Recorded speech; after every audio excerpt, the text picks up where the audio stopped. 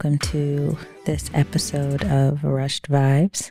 I am Jessica Rush'd Vibes Rushing, accompanied by David Rush'd Vibes Rushing. And we are here to vibe. And why we shall. What's happening with you? Not much. Not much. Mm.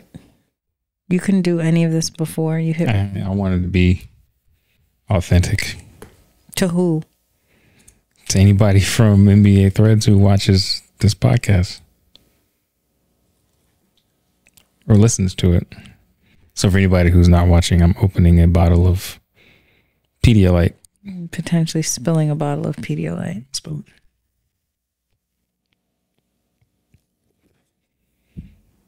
This is so unnecessary. Hmm? This is so unnecessary. What do you mean? You struggling to open this bottle I'm not struggling to open it. It's open. after you struggled. I didn't struggle. You definitely struggled. Well, I had a mic had a microphone in front of me, so I wanted to make sure I didn't damage it because it's a very expensive microphone. Anywho, what's up? What's good in the hood? How you feeling? It's nice to be back. Okay, you're not gonna come over here all bubbly Lucky Charms when you've been gloomy McBloomerson all day. Actually, I can. One, because that was private. It was a family matter. But since you want to bring it up, um, this is my release. So this is me releasing. Hmm. Appreciate you not bringing up old stuff. It's not old. It's literally the same day. No, because it's not now. I'm just being transparent. That's what we're about. As you sip Pedialyte, like you're Lil Wayne in the early thousands. Is that what he did? No, he sip sizzurp. Oh, sizzurp. Yeah. Get it for the camera. Pedialyte. How's it going? It's going. Yeah. I like your shirt. Thank you. Sweatshirt. Who got it for you? J2, also known as Jess. Yeah. I guess I don't have to call her J2, but um, known as Jess. Oh yeah. Uh, What are you drinking? the rest of the little bit of the wine that you left. My wine. Actually, it seems like quite a bit. No, I opened another bottle of a different wine and had to cross contaminate. But I wanted to finish my wine Mm. before you did. Because I know how you are. Anything else? Because you want to comment on my mood, and now apparently I drink all of your all of your beverages. So is there is there like a third to just make it I'm sure I'll have a something. perfect trio? I'll have something. Okay. You sure? You want to just just get it going now? Get it out the way. You springing a whole episode on me. No conversation. No, we just built a set. You know, it's funny. Is it now? It is funny. I'm gonna take I'm gonna take a little bit of time. Um because I hear from you a lot. A lot since we're all about transparency, right? We want About to be, taking initiative? want to be transparent. Type of initiative No, no, no, no. I'm speaking. I have the mic. I have a mic too. I have the mic that's being spoken into. All I ever hear is whatever you want to do. Yeah, that's fine. Oh, all you had to do was say, let's do this and we'll do that. But you Blah, blah, blah. say But no, no, no. You just No, you know what I did? I led by example. And I got I started setting things up because when I set these lights and these cameras up, you know what that means? That means we're recording. there was no conversation with There need to be a There conversation. did. No, there didn't. There's always a conversation Not anymore. to make sure I'm in the right headspace to record. I figured if you weren't, you'd tell me because you're an adult. And you Oh. can and you can speak your truth and let me know if you're not feeling. If you weren't feeling it, we just left the stuff up. We record tomorrow. Okay. But you didn't say anything, so we're here now. Okay. Do you know what my week was like? Since you don't want to talk about it, talk about yours. Sure. It's been uh it's been crazy. So I was sick, and then took two days off just of work because I was I was out sick, and then you and Silas got sick, and then yesterday thought that our house was flooding. After you didn't believe me when I was, was- saying, I said, you think that there's water underneath the house yes. And then you proceeded to open the attic. because I heard a beeping noise and it sounded like it was coming from up above. It came off as you thought I was delusional. Yeah. Well, that's And thankfully, Solace was like, there's water into the house. and that's not said, we need to get a new house because there's water in the house. so yes, I checked the attic and it wasn't up there. There was nothing up there. And then I went underneath the house in the crawl space and there was a basically a pipe, I guess, for the sump pump that wasn't fixed properly or something. And I guess just over time, it all the rain and water and pressure because we had had a storm last night. I guess tornado watch. I guess flood watch, tornado flood watch. All the pressure just just broke, not broke, but it misaligned, I guess, became on the line. And uh, water was just shooting everywhere. Um, but the water we heard was the pipe shooting water up to the to the floorboards, basically. So once we tightened the the um the pole back, once we the pipe back, excuse me, the water was able to drain. So there was a lot of st- there was some standing water there last night, but I got most of it out. I was gonna go back today and do the rest, but luckily it was all gone. So crisis averted. Cause I didn't want to have to call Morris Jenkins. And you know what's funny is I called uh, I called Bobby. This is how me and Bobby are just like two totally. I mean, we're already two totally different men, but our mindsets are like totally different. Like Bobby is all like gung ho. There's a problem. Let's get in. Let's fix it. Me, I'm a little bit more methodical because I realize there's a, there's a level of risk associated with any problem that you try to fix. There's water shooting up and standing underneath the house where there's like wires, electric wires. I was like, I don't need to. This doesn't need to be my end. like I don't, I don't want to die. So I go outside. I put on the only rain boots we have in the house are your fly, are your your butterfly rain boots. I got from this. Aldi. I got this big ass um five hour jacket that's like a winter coat slash Yeah, rain you can remove the inside, the Yeah. lining.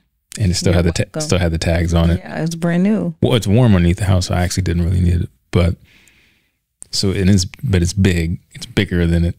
Well, the medium was too small, It's like an extra large. So I'm so I got you this big coat, You complained that the walking around the yard in these in these butterfly boots, and Bobby pulls up. He's got like some khakis and a little. yeah, he was real like going disc golfing.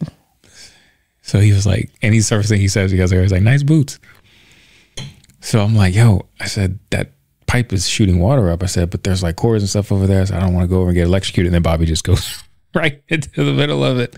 And then he tightens the pot, uh, tightens the, uh, the pipe. And I'm standing there with all this gear on, looking crazy. holding a, holding a little flashlight. It's like, yeah, that's it. Good job, Bob. And then He's uh, also a general contractor, he is, so but he but even even if it wasn't like, I could have called him about any situation, and Bobby just it was just rush in. It's this old saying where there's a well, I don't want to say his last name, but um, oh there's a saying where there's a there's, a way.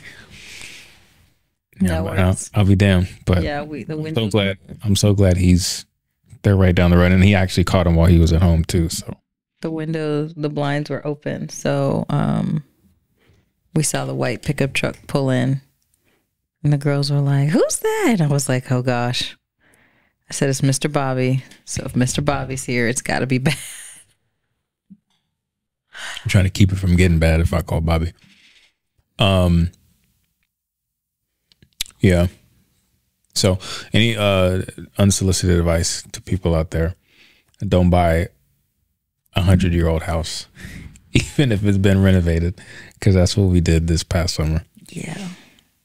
Yeah. Well, I guess it's out there now. Yeah, but I mean, along with buying this old butt house, squeaky floors. we also bought three and a half acres of land. So there's a vision. It's three point. It's a little less than three. Oh, now, whenever I say 3.4, you no, because it's three point four one. It's not three and a half. about it's three three acres of land About three point four one acres of land. old house sits on. So there's a vision. that prayerfully will be executed or a for sale sign will be going up. Um, no, this is probably the biggest, the biggest thing that we've had to deal with. Um, and I'm sure that there are many worse things that that could be dealt with. I've never lived on a house with a I don't crawl know. space. Than the stink bugs. Don't get me started with the stink bugs. But that's like that's like a North Carolina thing. I don't think that's. The I don't house know that I ever saw stink bugs at the old house. Because Uh, you never spend any time. I mean, it was it was probably a. You're right. There wasn't a crawl space, so it's not like they could get into the foundation. Mm-hmm. But we had another type of problem. hmm That we also have here. Not really. I haven't seen seen a couple. So what, what you want to talk about today? I, I I was not prepared. Mm, let's talk about the uh, the Jonathan Majors interview. I'm I'm I'm really tired of Jonathan Majors. I mean, I watched it. It was 15 minutes. I don't know that it helped him or hurt him. It was kind of just neutral ground. Um, Sorry, it's Pedialyte. It's great flavor hidden. um, I I kind of took it with a grain of salt because I recognize that he's a performer. Um, he's a performer and he's sitting in a room probably 10 feet away from his horrible attorney or some legal counsel. Um, so obviously most of what he's saying is scripted. But um, the only thing that I felt I got more context in was regarding that statement that people used against him when he like they played the recording about her being like Coretta or Michelle Obama and again I take it with a grain of salt but based on his elaboration he was basing it on the men Martin Luther King Barack Obama and obviously their women are black women. Um I, I don't I don't know that I, have skewed my perspective He was likening himself to Barack, and yeah like the type of man he's trying to become he's he was a great man. he's trying to be a great I am a great man. He is a great man for the culture, for yeah, whatever else he said. And he referenced other credible great men um, who happen to have black wives. So it came, I think, for most people, it came off as he was telling her to be a black woman. And I know a lot of feedback I heard was, if you want a black woman, just be with a black woman. Um, but what I gathered from it was he's holding him up himself up to a standard of these men who happen to be black because he is a black man, um, which I think is common. Most most people make comparisons of themselves to people of their race. Um, I would assume. Um, usually, when black men are cre- quoting themselves or comparing themselves to other great men, it's usually you know someone who looks like them, someone who's in their field, someone who's doing something similar to what they want to be doing. So I think a little bit gets lost in translation there when you listen to just the audio and you can hear him elaborate on what he means. Um, it just so happens that their wives are black. I don't know if there are any black, great black men he compares himself to whose wives are of another race that he would have quoted them. Um, but of the context of that conversation um, that he elaborated on, that's that's what he meant. Um, I think he was, a- I believe he was asked if he thinks he's going to act again, and he said, "Yeah." Essentially, in God's time, I don't doubt that he won't act again. Um, I think there's a, a potential for a great redemption story, just because I mean he he is a great performer. Um, he talked about his relationship with Meagan Good, how it's a blessing. Again, I still partially think it's a PR stunt. I hope it's a good relationship considering she just got divorced. What do you think about the rumors that she's the woman? Oh, that she's Cleopatra? She probably is. Becky with the good hair. Yeah, that she's the one who they who what's her face saw text him. Yeah, Cleopatra. Yeah. I wouldn't doubt it. So in that case, she's a homewrecker. That's not what I said. I just said I wouldn't doubt it. I'm saying, and if that's the case, then um, What are the parameters of a homewrecker? I've always assumed a home wrecker I, I, I used it. home I used it very loosely. I was just because they weren't married. Like, can you be a home wrecker? Like, does the home have to be a home of marriage to have a home wrecker come in? If you're not, because you know, a lot of people like the new trend recently with women is a new trend. Yeah, that I've noticed. Like until I'm married, I'm single. So, like, we can be talking. She's single. Eh, we can be Oh, really? dating. I'm single. You. We can be engaged. I'm single. Up until the point that I am married and we are legally bound before God and man, I'm single. So, depending on their perspective, yeah, they had a child together. They have a daughter together, um, which I didn't know it was a girl. I knew they had a baby. I knew he had a baby. I didn't know it was with her. Um, and he did talk about how he hasn't seen his daughter in a long time, and I did feel for him for that. Um, whether he was acting or not, I, I still empathize for the idea of a parent being separated from their child uh, for an extended period of time. But um, but yeah, a lot of women are of the mindset that until they're married, they're single. So if the home is a home of marriage, if they're just cohabitating and co parenting, is she really a homewrecker? Maybe she's just an uninvited guest. I got to tell you, uh, I was not prepared for this I this turn. I wasn't either. Yeah, but I, I appreciate the, you know, the. I appreciate the the pivot. Um, Does this sweater make me look big? it just looks like a big sweater. it looks like a big sweater. I don't look big in the sweater. Maybe it's the way I'm sitting. I'm kind of slouched. Carry on. The pivot, not the podcast. Um, I think. Oh, I guess it depends on. I didn't realize there was this thing that I. I have no responsibility to anybody if, unless I'm married. I So don't disagree with it. Hmm? I don't disagree with it. I.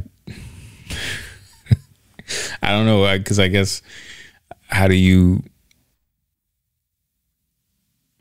Uh, I have trouble with it because how do you prepare yourself for marriage when it's commitment if you can't commit to any tenure of a relationship because it's not marriage? It's like I guess, and this is the tricky part. Are you going from the traditional biblical perspective no, I'm of marriage, or are you going for the um, what are those? going from the perspective. going from modern? I'm going from the perspective of I'm not going to just marry somebody who I don't know.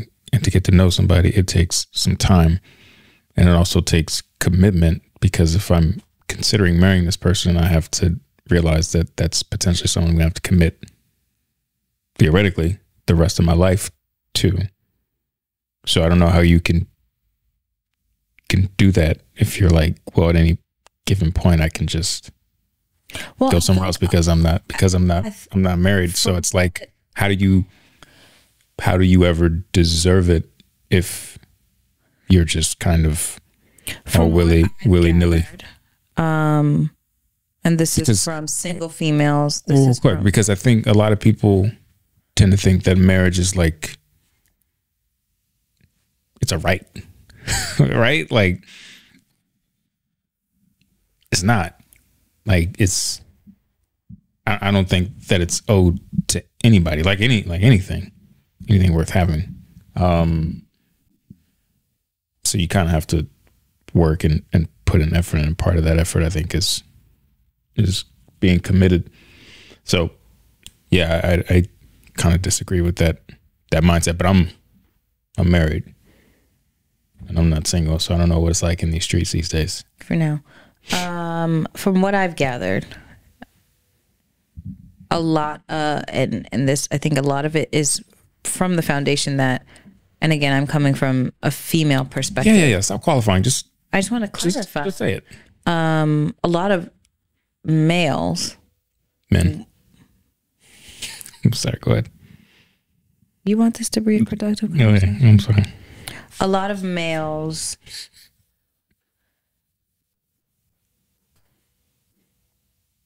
tend to take up the time of females of a woman. A lot of men will take up the time of a, of a woman. She will commit herself to a man for an extended period of time. Then eventually It sounds like hyperbole, but keep going. eventually he realizes she's not the one he's interested in somebody else or she's tired of waiting for him to commit that commitment being i want you as my wife. So you've invested as a woman you've invested one two three four five years of your life. We all know that being a woman society has taught us that there is expiration date. There are things we need to accomplish by certain times. We have you know um, our biological clocks tick so we have to have children by certain times.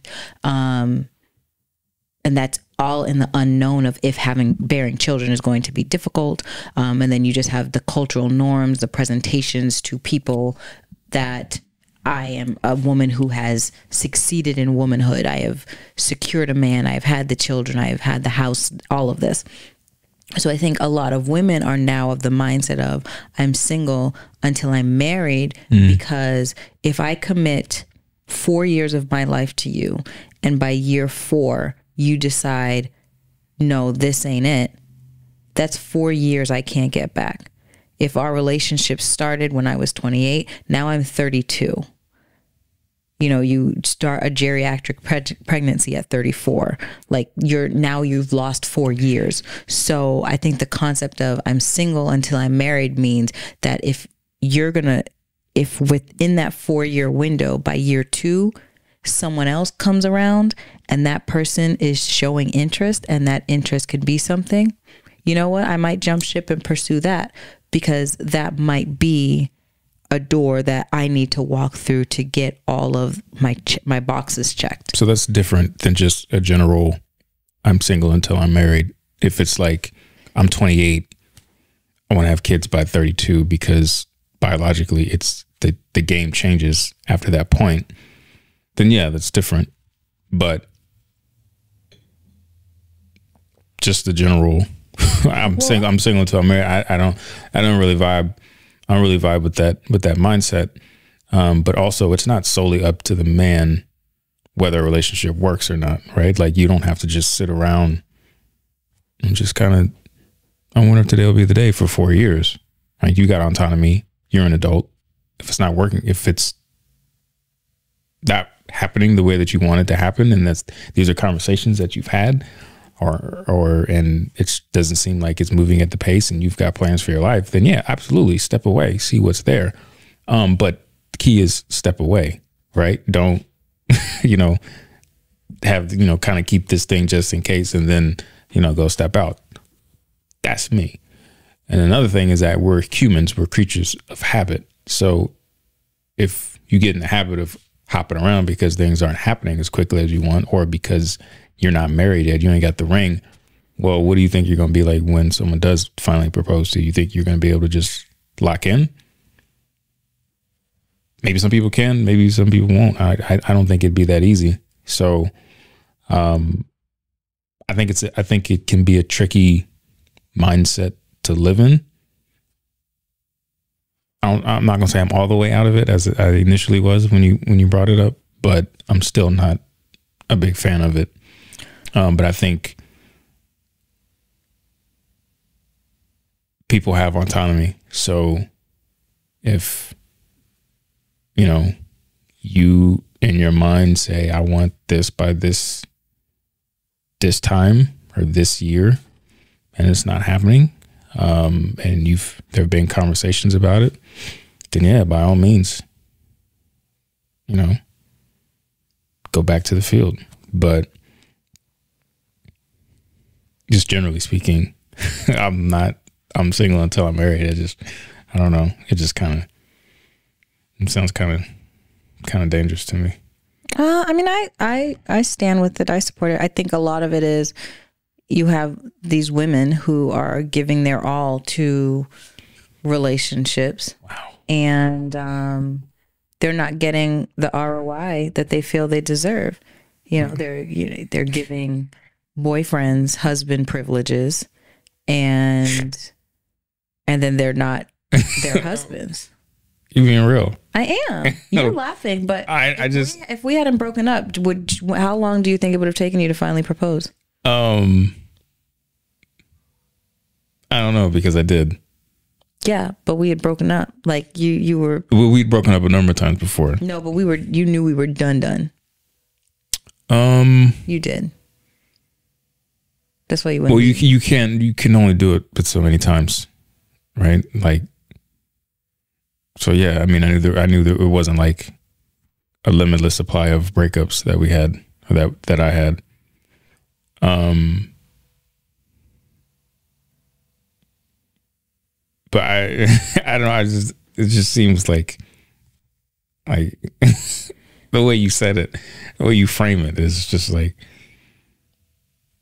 I don't know. I mean, I'm not framing it like a person who's in it. I'm not. Nah, you. I mean, it's just like you have these women out here who are all into these relationships, and and men are just and men are just just trash and For playing around and playing games and me trying to diminish all men. like it's just like, well, damn, This is not me we might trying just this all is just might need to be be gay out here since since men are wasting women's time. to diminish all men. What I'm saying is a lot of times women will put their all into their relationships hmm. and then they don't get the return on hmm. investment. They don't get the ring. They might get the baby, but they don't get the husband and they don't get the dream that they had.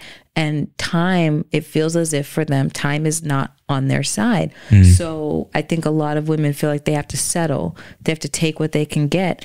And and that doesn't seem fair because I don't always feel like men feel that way. Um, I don't know that in long term. Again, this is my my opinionated truth. I don't see or hear, and I could just not associate in those circles men saying like, I just ha- I'm settling. I have to settle. This is all I can get. This is all that's available to me. It seems like men aren't as concerned about it because they know the options are plentiful to them, whereas women don't always have the plentiful options. But I teeter this line of traditionalist and modernist, where it's like, okay, well, what approach do you want to take? Do mm. you want to take the traditionalist biblical approach where the man is supposed to seek you out you know you court you you know you're you're there's more of a structured process or do you want to take the modern way you know mid-century modern whatever it's called where you're you're you're dating you're on apps you're you're you're finding people you're having conversations you're cohabitating you're doing everything the modern way. Um, because the modern way is going to get you for some people you might be favored you might get you might luck out and get a good relationship get a good marriage. But in others you might struggle. And i think that's where a lot of these the clash between like the single independent female who also, you know, wants a man that she can be dependent on um, and submissive to, where those clashes come to heed very regularly. Again, this is just my opinion. Because I think a lot of people, you know, you have women who have to fend for themselves. They're they're getting educated. They have to take care of themselves um, because we don't have that historic culture where you're getting married off at 14 um, and you're popping out babies for you know 12 years or whatnot. Um, we're in a culture, a society where women can do and deserve to gain accolades, whether it be professionally, academically, however they please, financially. So you have women who are self sustaining. And I think a self sustaining woman, and this can come from the other side too, because you have a lot of men who don't want, you know, you don't want a woman who's just like lazy and can't do nothing for herself. So you appreciate and admire these self-sustaining women but then you also have an issue with the fact that you know they they'll talk back to you. They'll you know make it very clear that they have their own money and they don't need you. So there's there's this balancing of the traditional and then the modern. And then what's the hybrid in the middle? Is there a hybrid in the middle? Can you have a hybrid in the middle that's successful? Because like i've seen you know posts where it's like you can't be a wife a mom and a working professional woman successfully. You can't have all three. But then i've seen stuff about like you can if you want to. But it's just who do you want to be? Yes i want to be a good wife. Yes i want to be a good mother. But I also want to be a good me for myself. And being a good me for myself means I'm a good me for all these other people. So I think there's so many tentacles that fall off of it. Um, and I know I started off with home and home wrecker, but I don't know if Meagan Good was Cleopatra. Coming back, okay. Yeah, unless you unless you had something you wanted to chime in. Um, I do want to go back because you asked how long would it have taken for me to propose if we hadn't broken up.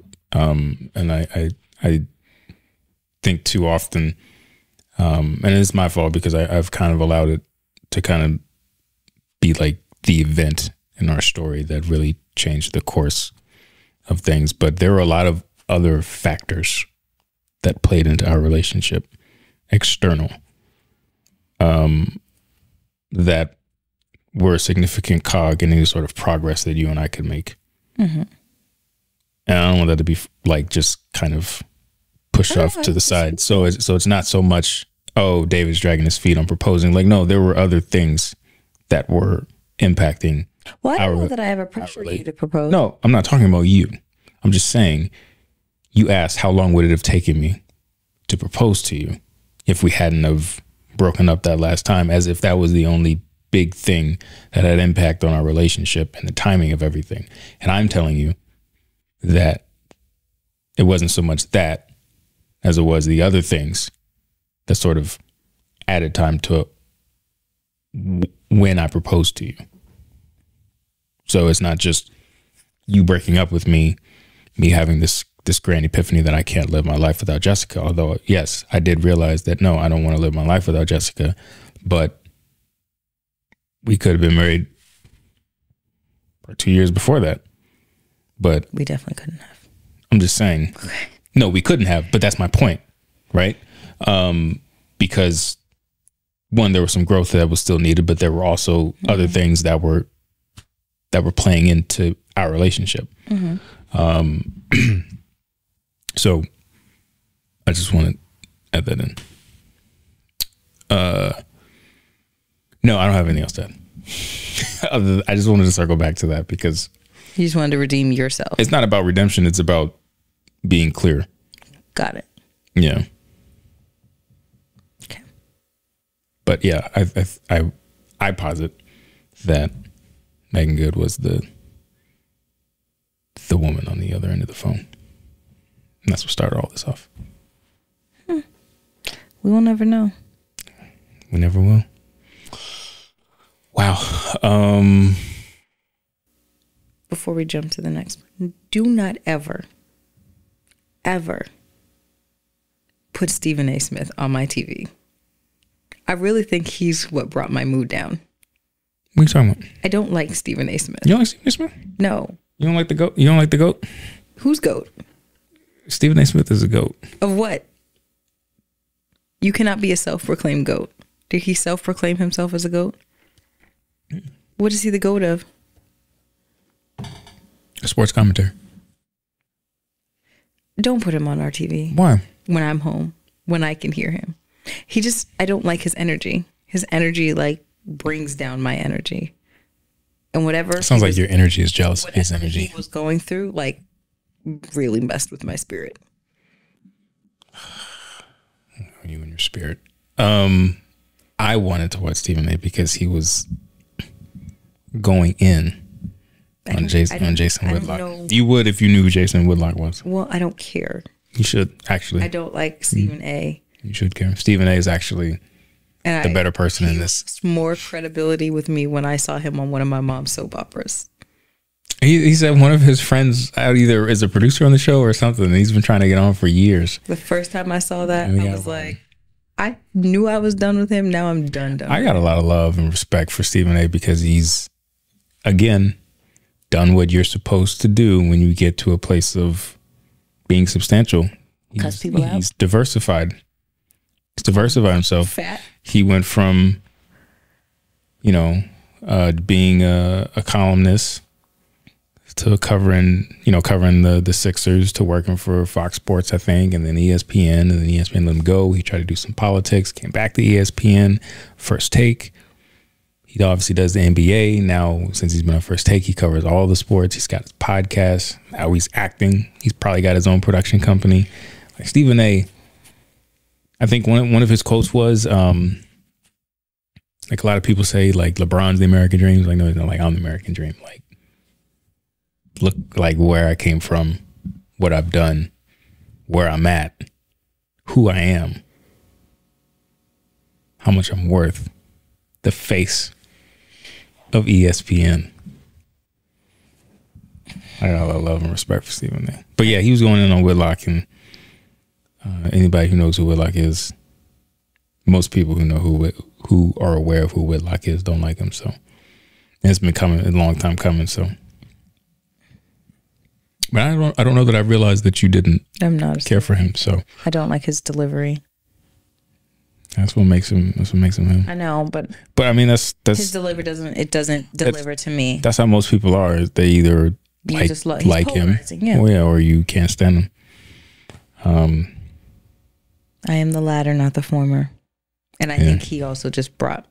I was just like, why? It, why am I listening to him rant and I don't know who or what he's ranting about? And I'm like, who is? How fat is this guy that he's calling him fat, and then pre-calling his pastor to apologize? that's how you know. That's how you know you about to. that's somebody trash when you get that that pre uh pre infraction cleansing. That's not how that works. You'd Be like, oh, I'm gonna murder. You don't know. You don't know until you try. like, Father, forgive me. I'm gonna murder this person right quick.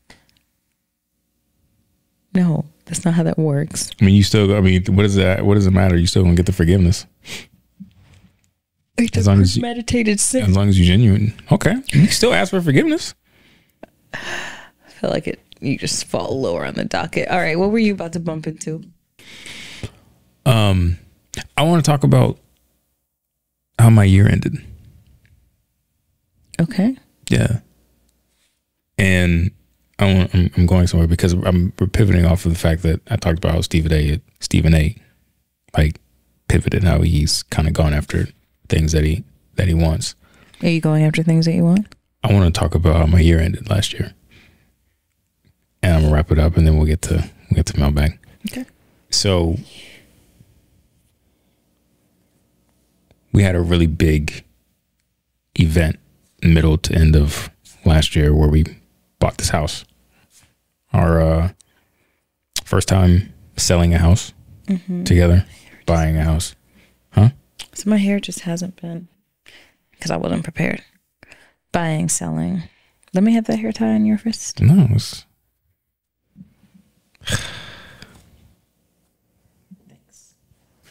and I thought that was going to be the big event of the year for me. Um, and of course, NBA threads, right? And uh, I got to go to Vegas. Mm-hmm. I I say I got to go to Vegas. You went to Vegas. I went to Vegas. um, but while I was there, uh, I got to uh, hang out with a lot of creators. People. Yeah, and um, got to go to a brunch uh, hosted by. that here. Well, I got to go to a very exclusive brunch. Did I tell you about? Did I tell the story? I was. I told you a mom about how when I because you know I, I don't go to I don't do these things. I tell people all the time like I told everybody while I was there like my wife should be here because this is her space. So we had to RSVP for the brunch. And this is the boardroom in Threads, right? Boardroom, Kevin Durant's media company. Um, where was it? What was the restaurant again? Oh, Rio. Tao? No. No. Can't remember. Somewhere in Vegas on the strip. Lex. Um, so I, I get there. Um, I uh, confirm. I confirm with both you and Lex that I wasn't overdressed, but I wasn't underdressed either. So I get there, and they're like, "Your name." so I didn't know what to tell them, like my name or my handle, because you know that's how people people know me. So I was like David Rushing. So they're like, "Okay, what was your name again?" So I'm like, like don't don't tell me. Uh, yeah, me come all the way out here. They got my name on list. I'm like David Rushing. And then she's asked the girl behind her, and she was like, "Mm," I was like Rushing. She was like, "Oh yeah, you're good." So I'm, I go in, and there's two big security looking dudes there. I told the story to you, right? Okay. me. All right. so I just instinctively put my hands up because I think they're gonna pat me down. they look at me like, bro, just go in. It's brunch. It's just a brunch. I just figure you're in a line. You walk up, you see two big black dudes in all black. You just they got to pat you down because that's that's what happens. But they were looking at the bro, just It's a room full of creators. I don't. I don't think anything's gonna pop off. You know, there was a there was a lot of money in there. Trust me. Um, Which is why you had to be on the list. And to be on the list, which is why I thought you had to get patted down. I mean, everybody was in there. Rich Paul was in there. Shams Charania was, was in there. invitation only. I'm just saying. So, anyways, I go in, and um, I'm in there. I don't, I don't really network or anything like that, so I'm just kind of. I go to the bar, and I'm like, "Yo, let me get a let me get a Woodford." I don't have Woodford. I was like, "God damn it!" So I'm like, "What do you have?" And we got Maker's Mark. I'm like, like, okay. You know, I'm a Maker's Mark ambassador, Are you really? mm-hmm. What's up? so I have to go in like six years Can we get some? when they open my barrel and get my. Oh, get your. Can we get some They actually invited us to some kind of thing on the ask one- 27th. let me ask one more time. Can we get some? Yeah, if you buy it. You ain't no ambassador. So, anyways, I was like, let me get some, let me get a Maker's Mark single. Neat. So, of course, I asked her, I'm like, in my mind, I'm like, don't ask a question, don't ask a question. And I'm like, I asked a question, like, do I owe you for this? She's like, no, it's open bar. I was like, oh. But then I was like, oh, I don't have no cash. I was like, can I cash app you or tip or anything? She was like, no. and she goes off to somebody else. So like, all right, I'm officially that that guy. I've, I've made it very easy to identify me as a guy yeah. who's out of place. Because she was likely getting paid hourly. I mean, this is my wheelhouse. So Beam was probably the sponsor, Probably whoever. and he was getting paid at least fifty-eight dollars an hour. Yeah. So she didn't need my little tip. No, So uh I'm there and I see some I see some some meta employees who had uh who I had been communicating with. I go introduce myself. I'm like, hey, I'm David, and then everybody's just like, Oh my God. You're your rush. That's my my threats handle for anybody doesn't know. And I'm like, yes, that's me. and that's where that was like my interaction with like everybody. And it was so weird to be the center of, of attention in a room full of people who are like famous. And I wasn't obviously the most popular person there. But when I met some of these people, their eyes were just like, oh my God, like you're the guy. And I'm like, yeah, it's me. Like one person asked me, he was like, what were you doing before? and I was like, going to work, changing diapers, killing stink bugs. paying my mortgage. Like, what was I doing? Like, he wanted me to have a story or something. Like, like bro, I was sleeping in my car, and then Meta launched Threads, and you know, I say I had to bum the Wi-Fi from McDonald's, and I'm like, no, man, I was just, I'm just a regular dude, and I was doing regular dude things before. And I'm doing regular dude things now. Like, I'm just, you know, I'm a little popular, so. Everybody was like, "Oh my god, are you a rush? Are you a rush?" I'm like, "Yeah, it's me, it's me." But I got to meet a lot of cool people, uh, some people who I've looked up to. Um, had to meet uh, Josiah Johnson, who I, I know you. I don't think you know. Uh, we got to meet Trayvon Edwards, who I don't think you know either. But I met Rich Paul, Adele's Adele's, husband, Adele's husband. Yes, Mr. Adele. uh, Miles Turner, the center for the Pacers, and I got to meet Adam, the head of Instagram and, and Threads, and had a had a really nice conversation uh, with him, and uh, obviously got a picture. It's on my it's on my threads profile. So it was just a really it was a Yeah, really I should feel some type of way that that's the picture that's pinned. like well. It's it's funny because wife of nine years. it's funny because children. It's funny. Adam is the pin. It's funny because the whole mayor thing, right? You know, I fought it tirelessly, but eventually I just leaned into it. So mm-hmm. I changed my bio. They call me the mayor of NBA Threads, but I also say, but I'm really just. Have you seen my okay? Mm-hmm. But I feel like if somebody comes across my profile like the mayor of NBA Threads, like who's this guy? But then they scroll down, they see me and Adam, they're like, oh shit, he's actually the mayor of NBA Threads. So that's part of why I did it.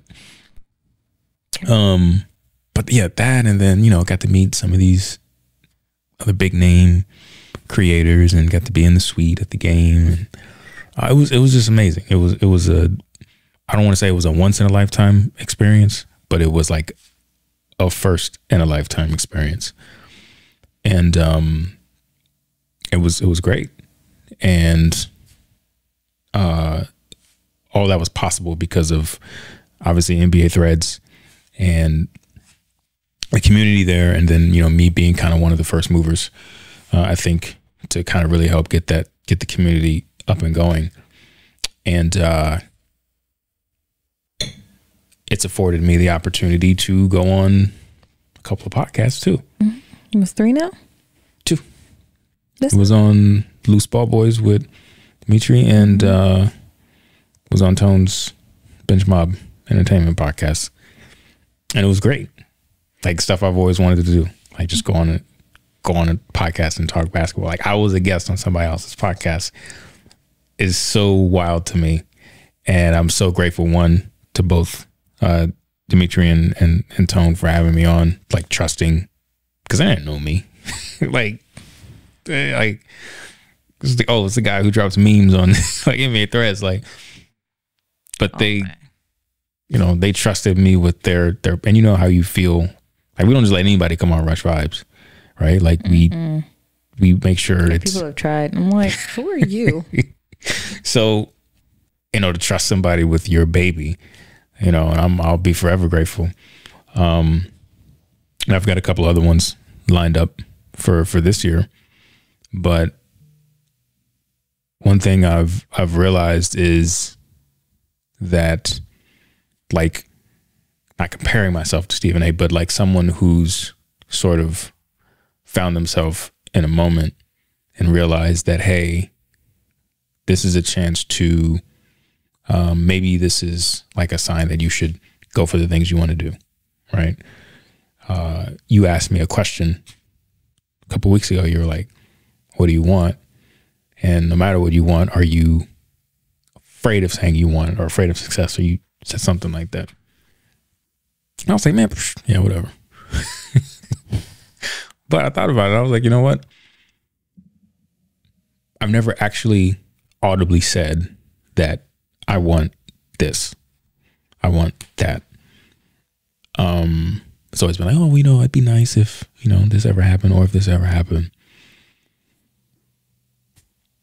But I wanted to take this opportunity to say one, thank you for letting me go to Vegas. Um, Thank you for not inviting me. you're welcome. Thank you for uh, always challenging me to think bigger and think differently than how I've always thought. Because I can't be married to no basic. Sorry. What does I'll say? It rhymes with rich. Y'all, remind me to tell you No. the story. So this is me saying I want to be creative.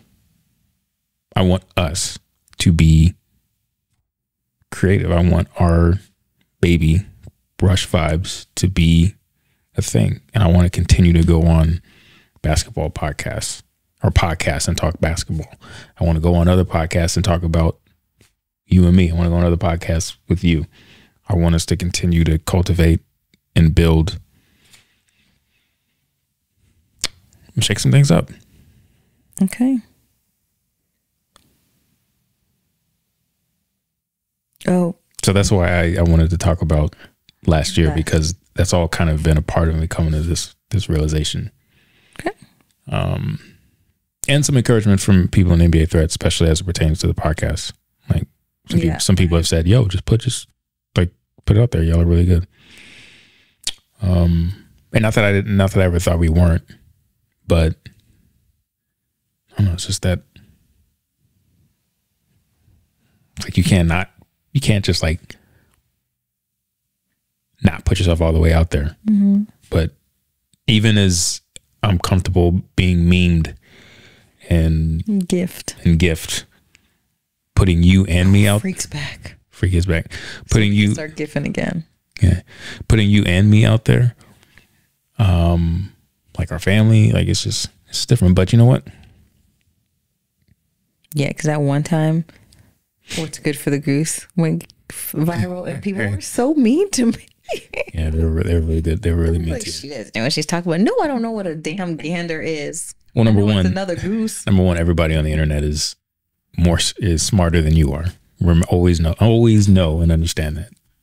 Um, We'll have to like someone's always that someone- someone's always smarter than you. David picked like one clip. There's been two that you clipped that that went viral on viral-ish on Reels. One was me saying that dads get more accolades. So the the goose and gander was Facebook. Facebook. Okay. The read the you talking about dads having a little That bar was was Instagram. that was Instagram. Um, and I was like, why are people so so mean? I see why they say don't read the comments. And these were like basic, like local people. Speaking of, did you um did you ever listen to my podcast? I Did you started. still listen to it? Well, uh, me and Tone Tone gave you we gave you your uh, your props because we both agreed that you're actually right About what? about there being a little bar for dads. I told him I was like, you and I take the we take counterpoints often because I think it, it works for the for the dynamic. But um, after we had that conversation, and once I started taking the girls out for the daddy daughter breakfast, I was like, oh yeah, she's right. I usually, I just be out eating with the girls and just be like, oh my keep you're amazing. I go out with them. People are like, why do you have so many damn kids? Kids come from close your legs. Yeah. like, oh, you can't handle keeping up with all these kids. Your hands are full. You should have had all these kids. But dad, it's like, oh, Yeah, we got to do uh we got to do better as a society. Um but yes, I I I I am fully embracing whatever this is. Um but I also want to embrace the time we have um and the uh the opportunity I should say we have since we get to do something like this um to you know push it to the limit I support it. um i'll get some mailbag questions Let's do it. um steve wants to know exactly how much money you need to have before we move to la to be his best friends Um, I definitely think there's such great opportunity to be Steve's best friend. Um,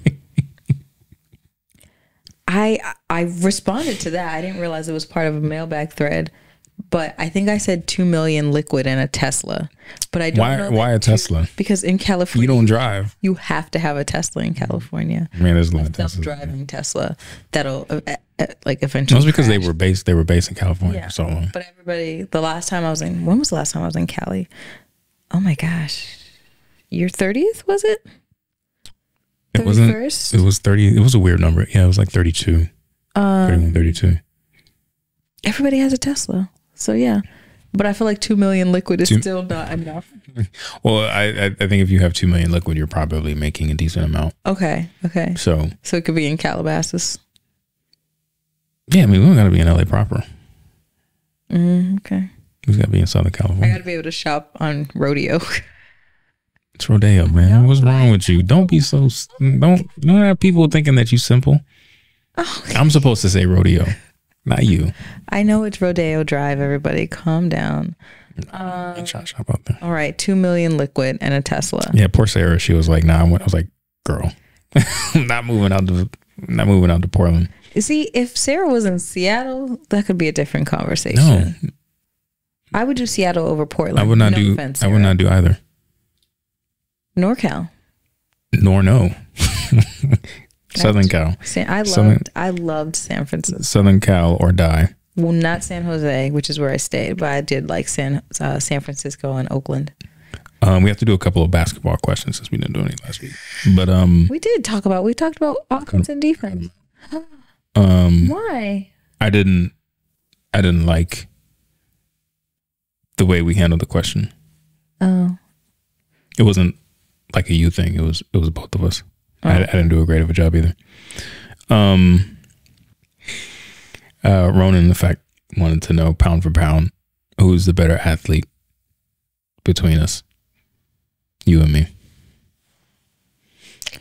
I, told him we kind of already touched on it on our world, the world. uh with What was ca- it called? World Champion Vibes episode. with caveat.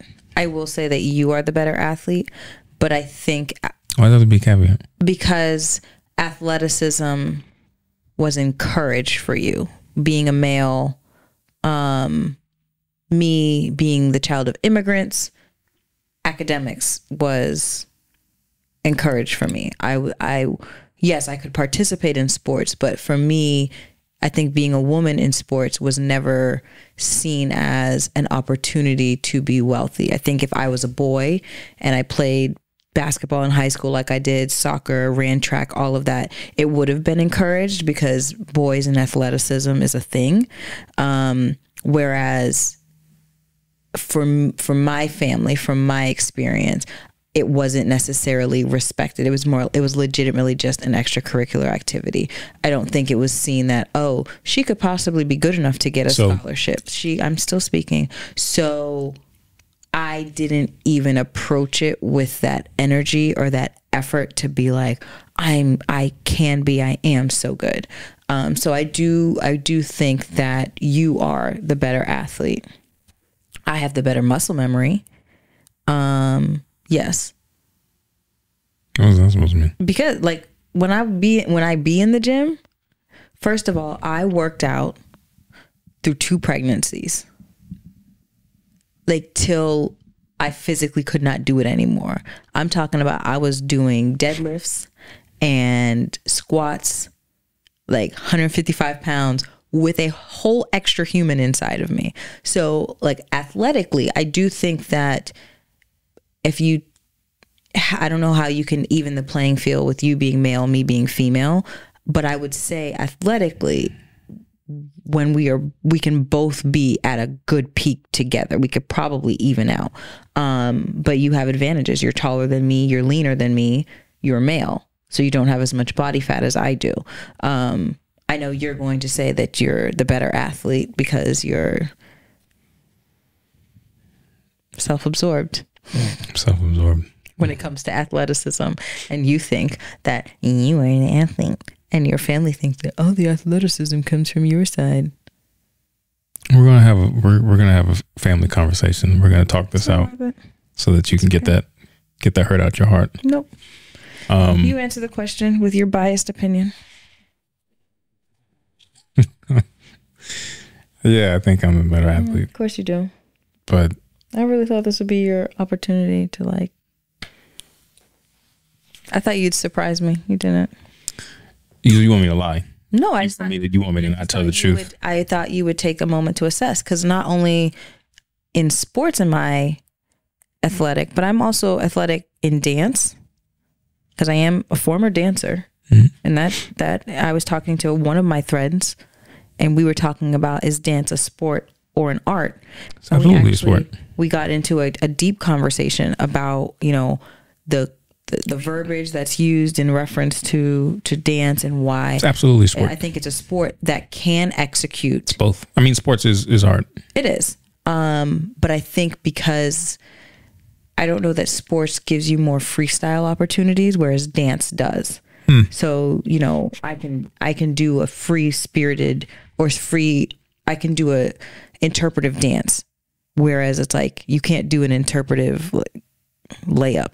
You can't do an interpretive free throw. Like you can't do it. Can you do a spin and then toss the ball? No, you can't do it. Have you watched Kyrie, Have you watched Kyrie play basketball? At the free throw line? I mean, you're allowed to do your routine as long as you don't cross the line and you do it within ten seconds. True. Um, but I, I do think that dance is a sport that can execute as an art form.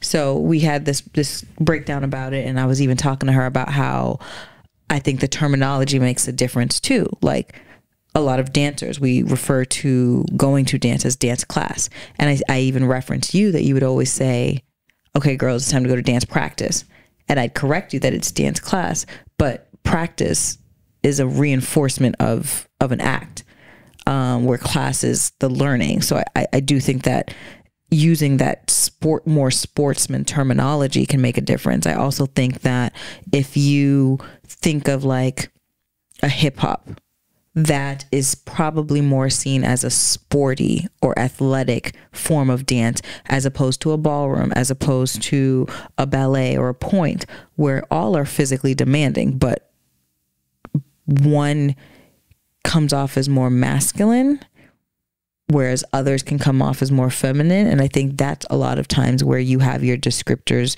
between oh it's an art as opposed to it's a sport. But yeah you're more athletic than me. Whoop-de-doo. So I, I, I just want to point out that I have um I don't have the greatest hips because I'm not i got great hips yeah a lot of my um I don't have great flexibility in my he has no flexibility in my hamstrings and in my um he can't touch in my hip, hip flexors. But I have really good feet. And I have really great hand eye coordination. At least I, I did. It's not as great as it used to be now. Um i have all these things too yeah. But I'm just saying, like you're the better athlete I'm saying I'm building I'm building my case as you I allowed you to do yours. I'm just trying to do the same. Um yeah, I mean fast. I jump high for not being that tall. I jump the highest in my family between my my three brothers and I. And that's including my brother who's six foot six. Um I have the ability to talk about muscle memory, but I uh for my frame I'm really strong now and have the ability to gain a lot of strength, which I think shouldn't be taken for granted. Fast twitch muscle fibers, like I can, I can go down the line, but I don't, I don't want to because I feel like you're just like you're gonna paint me as some narcissist when when I'm not talking about my athleticism. You tell me I'm too selfless, so it's I'm too modest. So it's it's funny how I can't win. But anyways, we'll go to the next question. subtle segue Um, but anyway which NBA team is your biggest surprise, and which team is your biggest disappointment? my biggest surprise Oh, I'm sorry, and this is from uh, Wealth Warrior. Hey, um, ooh, my biggest surprise. Positive surprise or negative surprise? I would assume positive, but answer it how you how you receive it. Honestly, I I'm I'm gonna keep it with the home team, and I'm gonna say the Celtics because there was You live in Charlotte. like my hometown team. You live in Charlotte. My hometown team is the Celtics Disrespect the show. Because they're gonna be shut up him. Disappointment. Um, because there was that season where the Celtics were not good. Several seasons, actually. Yeah. and that was fortunately it fell during a time where I wasn't like really following basketball. I might have been having babies. There might have been a pandemic. I might have just like life was happening and I just wasn't there was no NBA thread. So I really, you know, again, I'm a playoffs finals girl. Um so having this moment of being in basketball and having the team that I actually have always rooted for like doing so well that's that's bringing me great joy uh the it was disappointment it I, it's the hornets i'm like what are y'all doing what like i live here at least at least let the news not embarrass me on a regular basis um yeah they're Yeah, Charlotte professional sports is everywhere. You got millionaires throwing drinks on people. You got the Panthers. Did they win a game at all? I think they won one game, and it was like by a point. yeah, Um, and I'm like, this is the year I paid for my kid to be a cheerleader, to be a, a junior top cat. It's probably one of the better, better entertaining parts of the season. It was. for for Panthers. I cared. And anytime I didn't support the Panthers, she was like, but that's the team I cheer for. And I'm like, no, you don't. Um, but yeah, I would definitely say it's the Hornets. I would expect um, more. I think that there are a lot of teams that usually are on my radar that are not, that I don't even know like where their stats are. That they kind it kind of disappoints me. Honestly, if I have to say it, I'm low-key disappointed with the Lakers. Like I just I feel like they have such a following and everybody is all about them. And after the in-season tournament, I really was expecting them my expectation was they were just going to kill the season and and be like, we slaughtered the battle and we took the war. And it's like they those those night walk they they they got them. Like where's Jon Snow? They needed Jon Snow to help. No, they need Arya. That's Are you done? your turn, Thanks. Mr. Sensitive. Um, my biggest surprise uh, is actually the Orlando Magic. They've been playing really, really well, and Their uh, halftime shows are great. so I've heard. I usually switch to other games during halftime shows. Uh, I don't watch. I don't pay for League Pass to watch halftime shows. But uh, Banchero was playing really well. He's playing like an all star. I think he'll be an all star. Probably get for Orlando. I think they're third, third or fourth in the East. Let me check off the top of my head. Um, don't fail me, Wi-Fi. Why would the Wi-Fi fail you? Oh no, they're wow, they're eighth. But that's because every that's like four through eight. It's all within like a game and a half of each other. But um no, they're playing well. Um five games above five hundred. I think at one point they had the longest winning streak in the league. I think they got up to like eight or nine games. So Hmm. yeah, and this is for a team that's been really bad for for a while. So they've got some they've got some good young talent. Banchero, Wagner, uh, the two Wagner brothers. Uh, I think they just got Wendell Carter back, and uh, Fultz just came back, and then they've got Suggs and and Cole Anthony. So they've got they've got a lot of young talent that's that's playing well, and they've that they've had that team together for for a couple of seasons now. So they've kind of got the continuity and the the chemistry. So um, I'm hoping they won't flame out as the season goes on. Uh, I hope that they only continue to build from here. But uh, I think so far they've kind of been my my early season surprise, and I, I actually called it that they were one they were my dark horse team before the season started. You put any money on that? Putting money on them being a dark horse, I can, but I mean, I think it's too late now. I don't know how that works. well, and I, there was no like definition. I didn't say they'd be like a certain seed or they'd go certain. Said they were my dark horse. Oh, okay. Um, biggest disappointment. You know, it's it's really easy. Like I could look at the Spurs, the Pistons, um, The leave the Pistons. The out. Hornets. Leave the Pistons out of this. because you're not supposed to be this bad, right? Who like says that? You're not supposed to. Like there are teams where we're like, okay, we're not gonna be great, but it's like we're not supposed to. Jazz. Like, even the Jazz are better than the. They're like a tier above the Pistons and the Spurs. Um. No, it's it's for me. It's it's it's got to be the Lakers. They uh. They pretty much brought everybody back other than than Schroeder from the the team last year, and you know, granted, we had some people hurt at the beginning of the season, um, but yeah, we've uh, been pretty inconsistent. The AD's been great. LeBron obviously has been fantastic. AD has done his his thing. He stayed pretty relatively healthy too. Like I think he's only missed He's one game. Beast. He looks like he's huge. He's six ten, six eleven. That's. But he's he's his wingspan is like seven three. Did you stand up next to his at the Hall of Fame? I don't think he was there. I think Giannis. I think it was Giannis. Okay. Yeah. You know, I was thinking that during the game. I'm sorry to cut you off, but to be, and granted, they're I guess they're all in the same league in terms of size. It is a the idea of throwing your body up to get a ball into a basket where there are men who are your size or larger as an obstacle yeah. that is that's some military type stuff. Like one of the guys on the Timberwolves, I don't know who he is because you know I don't know. Na- I know like the OGs and like the really popular people. I don't know who this guy is. He was a beast. I was like, there is no. I could not be an athlete. There's no way I would throw my body against his. Mm.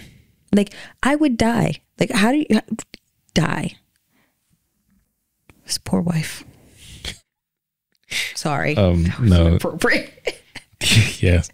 Um, so yeah, the Lakers made the big push for the end season tournament. I know a lot of people like try to knock it, but it's like anyone whose team, like if anybody's team had won, they'd be excited about it. But because the Lakers won, everybody wants to try to like knock it and make it seem like it's some joke. Um, I don't which is it. I think it's I which is which is which is fine. But no, it, I think it is it is significant. Obviously, it's, it's the first yeah. first one. the a big LeBron. deal. I got I to go. I got to go to the first in season tournament. Years to see if it's a curse. Okay, Uh, but yeah, in Like what, twenty twenty six? yeah, they're they're nineteen no. and and nineteen as of tonight. Nineteen They- wins, nineteen losses. Nineteen wins, nineteen losses. How many games are in a season? eighty-two. Goodness gracious. How many games are in a football season?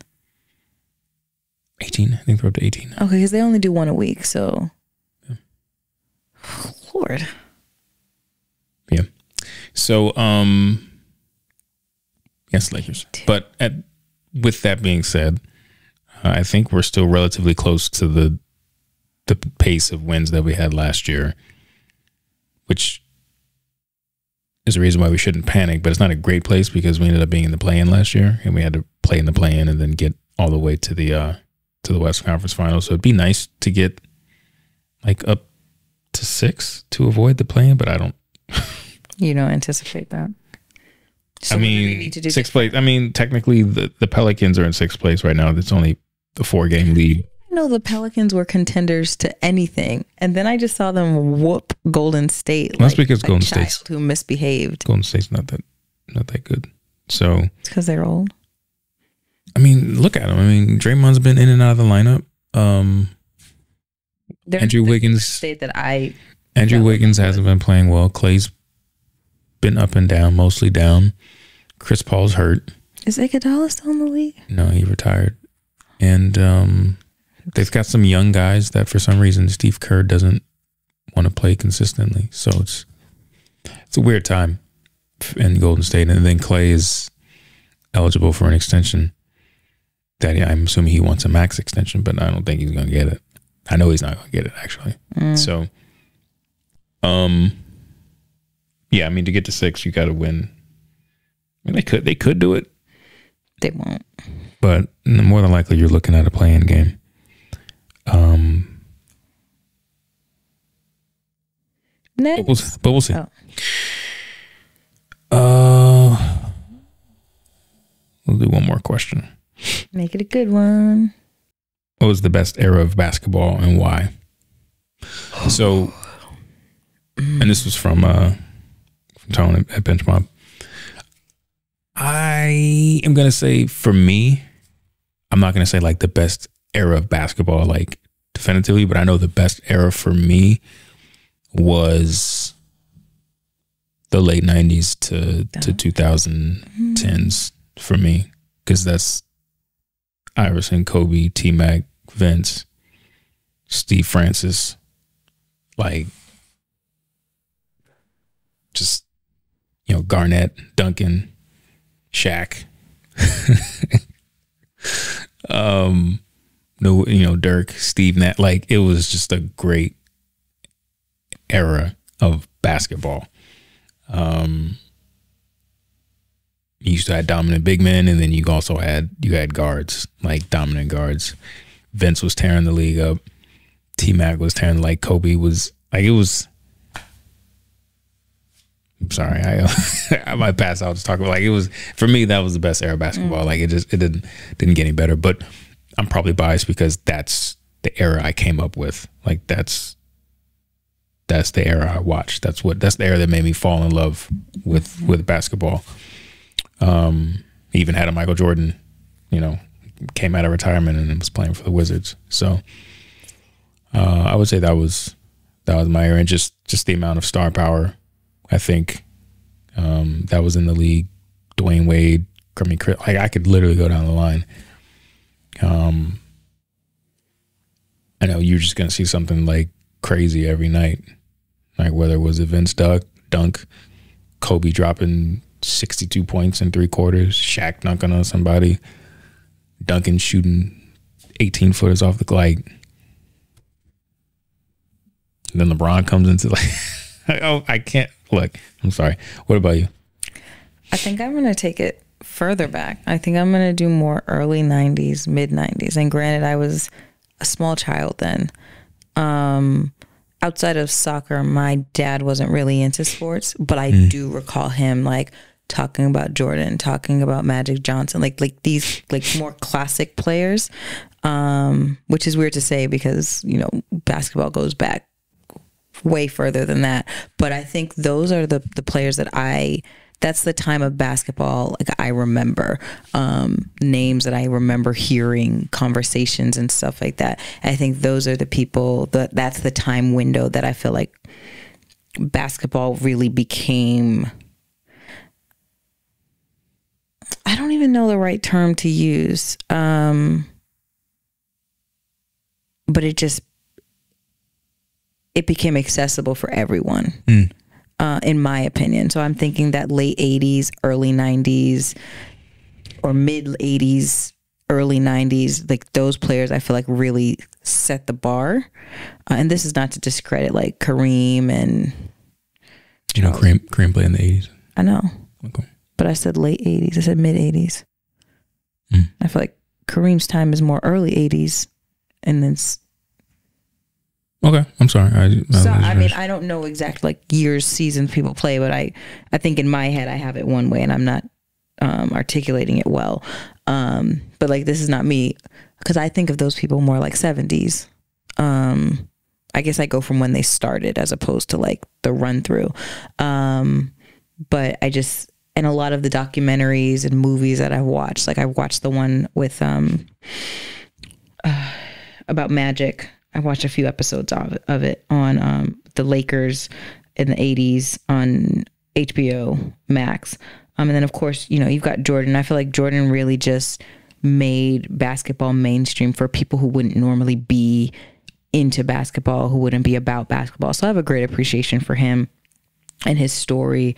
Um, and I think because, like, he was always in the news for something. Um, and then unfortunately, like his his father passed away and all of that. So like I just had a lot of more. I had more cultural relevance to those players. And then of course you had Magic and then his little incident um, and why he was all up in the news. Um, and then Larry, well, Larry Bird's obviously of a different time, but I had a great appreciation for Larry Bird. Um, so I, I, I guess I'm an old school type. I feel like you know, you got to go back to these guys, and it's those guys who set the example for the people that you were referencing. But that's really just how generations work, where it's always the previous generations. Because everybody you listed, like, those are the people that I actually know by name. As much as I'm into basketball now, I don't know as many new names as, like, if you gave me a pop quiz and were like, name, like, name 20 basketball players, probably outside of like Tatum they would all be from 10 years ago and above, like Curry and everybody up there. So, um, I do find that interesting that those are my reference points. But, um, but yeah, I love, I love the OGs. I feel like they just, they're just cool. And even for some reason, when I think about like old school basketball, the Harlem Globetrotters theme song plays in my head. Don't know why, um, but it does. Uh, probably because the Harlem Globetrotters visited my school in elementary school. It was actually really cool. Um, and they spun a basketball on my finger. They were like, "Don't move." Do do do Um, do do. is that it? Yeah, I like I like the OGs. So, uh, New Goat, because I wanted to get, because I pretty much hit all the questions. Uh, New Goat asks, is there a realistic trade the Lakers can make to truly contend in the West this year? Everybody. As my meme would suggest, trade everybody. Um, You did say that. I say it pretty pretty regularly. Uh, I think the trade that the Lakers make that will change the course of their season, be it for the better or for the worse. I think it's a trade no one's talked about yet. It's not So you want to be the one? Hmm? So you want to be the one to talk? No, I'm saying I don't think it's one that's that's been floated yet. Like there's people have talked about Zach LaVine in Chicago. People have talked about Dejounte Murray in in Atlanta. I know none of these people. I don't think I think the trade that ends up happening is one that nobody's talking about like right now. Oh, it's one that'll develop later because nobody knows that We're it's just gonna drop it like yeah, it's one that no one knows it's a possibility. But like maybe the week of the trade deadline or the week before, you know, you get rumblings and then people start reporting. And then it's like something I need to get more familiar with, understanding like how trades work and because they do like in season trade. I didn't realize that was a thing. Like, um, what's his face just got traded. OG Anunoby. Yeah, and he like played his heart out, and everyone was like, "Why?" Because you about like you about to go to New York, and I was like, I didn't realize. I've heard the term in season trade, but it's like I don't know that I actually activated it in my mind. So I I need there's I need there to be someone who was like me with sports who understands like the foundation, like maybe like intermediate, but wants to become advanced um, who can break down those other fundamental things for me. But I'm I apologize for interrupting you. I, can, I might be able to help you with those things if you just ask. Uh, because you'd be rude. I'm not rude. Really not. You're pretentious. You're like, you don't you don't know what this means. You don't know who. Pretend. Of course you don't, which is why you're asking me. Like, why would I? Why would I have that I need response? you to be humble. How you want me to be humble? Yeah, Okay, but I don't want to be treated like a dumb girl. Like, oh, she's a girl. She doesn't know. you're asking a lot. How about you just let me teach you how I teach, and then you take it? I'm just gonna ask Sarah. Hmm? I'm just gonna. Hey, that's Sarah. Then I'm going to Portland. I'll be in LA with Steve. Ooh, can we go to that donut shop? Doing. Mm, No, you went there. Oh, I'm talking um, to Sarah. Voodoo Voodoo Donuts. It was alright. was it? Mm. Okay. Well, we got invited to a Scotch and donut event next week, but we don't have a babysitter, so I guess you'll stay home. Or you'll stay home. uh, we'll take the kids with us. Leave them in the car with it. With Uh, it. only RSVP'd for two. Uh, when do we go? When do we go to Outback? Outback Saturday. Saturday coming. They Okay. don't have to go. I'm I'm trying to arrange them to be gone this weekend. Okay, please. It's a long do. weekend. Please do. We can probably only get like one night with Well, The then two let's littles. take them to Outback and then ditch them. and then just maybe pick them up Monday. Maybe. Um. Sorry, y'all. We're trying to find a babysitter. Yeah. And while we're recording this podcast, uh, yeah, I think it's one that'll that'll that'll develop over the And next that'll be the person that saves the team. the the person or the people. Like last year, it was it was a series of trades that happened close to the deadline that ended up turning the season around. They got they got Ru- they got uh, Russell, they got Vando, they got Rui. Brought in Malik Beasley, even though you know he didn't really pan out. Um, that really swung the season for them. And before that, people thought like, oh, there's no way they're going to get rid of Russ without trading two first round picks.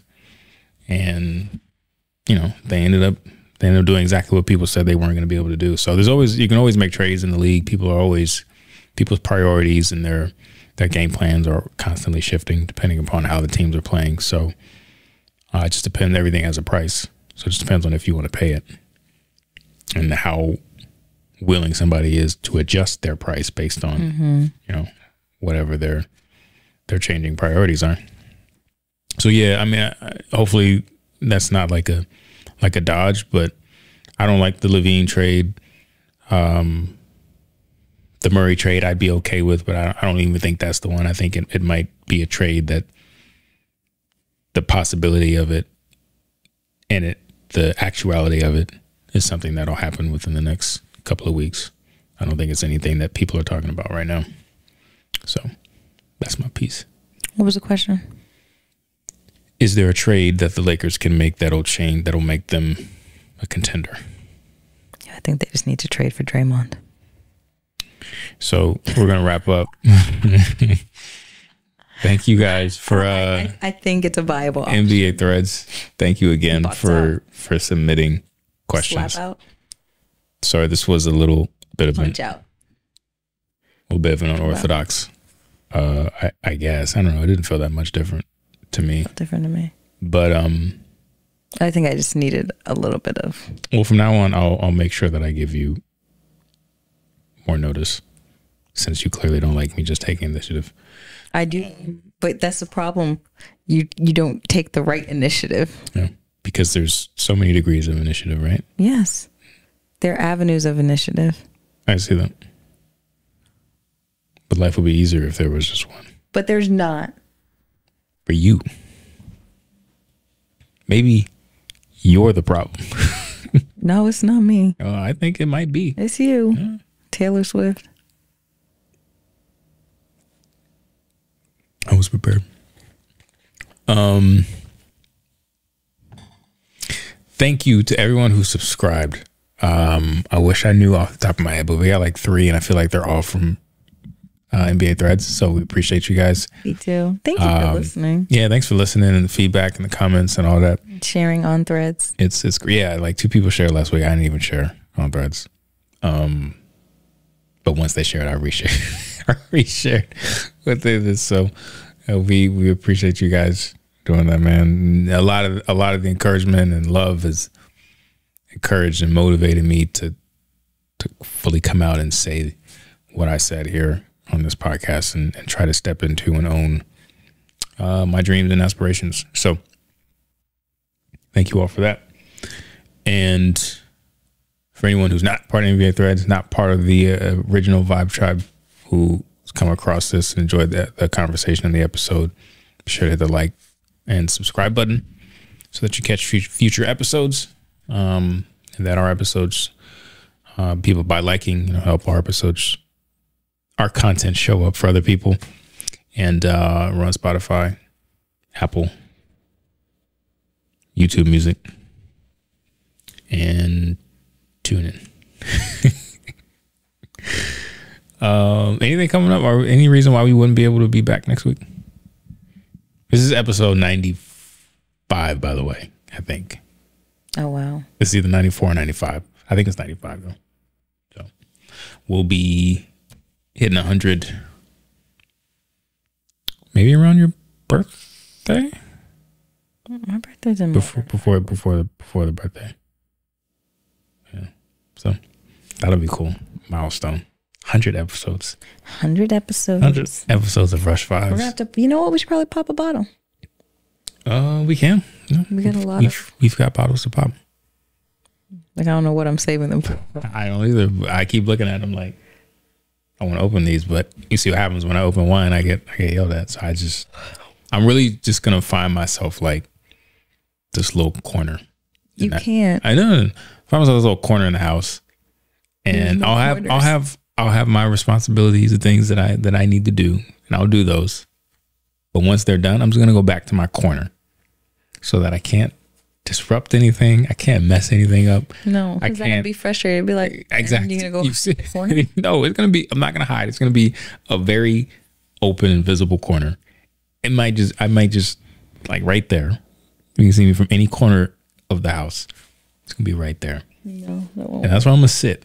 If you need something, I'll be like, all right, whatever you need me to do.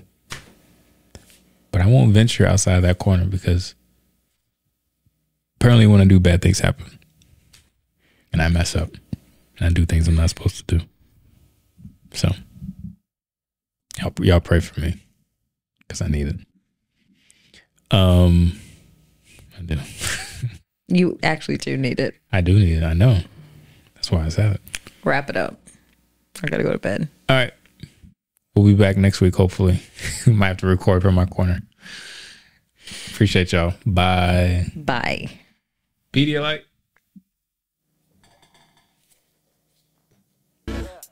Nothing but some growing pains. Yeah. Hey, hey. I done came way too far, can't stop me now. I done came way too far, can't stop me now. I done came way too far, can't stop me now.